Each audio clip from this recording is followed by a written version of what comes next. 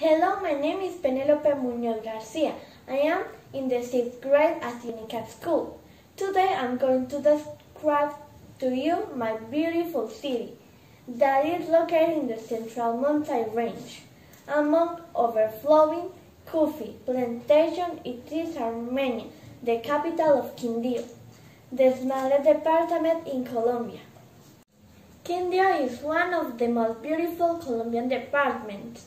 Its main activity is the cultivation of coffee. The tourist sector has been growing at good pace, becoming one of the main destinations in Colombia.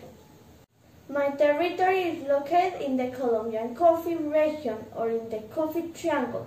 It is part of the coffee cultural landscape. There is cultural heritage of humanity. In my city, the climate is very pleasant and we call me Armenia has tropical climate. Sometimes we have a sunny day and other days are rainy. But the cold and heat are never extreme. The average annual temperature is 20 degrees centigrade. In the city where I live, there are many species of fruit trees. Trees with flowers, bushes full of coffee, giant trees like the wax palm, that is the national tree of Colombia. Here is the highest palm in the world, with more than 70 meters high. There are a bamboo tree. Everywhere there are many rivers and incredible landscape. The great mountains surround us everywhere. In this territory there is a very diverse fauna. It's an ideal place to bird watching. We can see the lionbird, hummingbirds, bluebird, and many more. The people of my city are charming and friendly.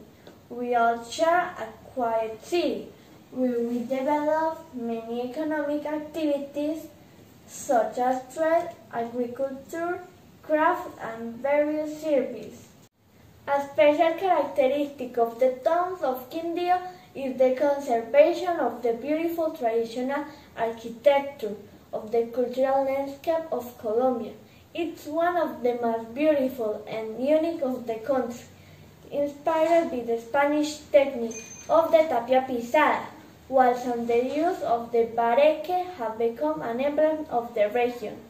The cultural identity of the inhabitants of my territory stand out for its pragmatism, laboriousness, entrepreneurial spirit, and desire for adventure. He will speak Spanish and communicate with a very nice accent. My city functions under a democratic political system organized through the governor's office, the mayor's office, and the community action boards. Goodbye. I hope you like my city and my video.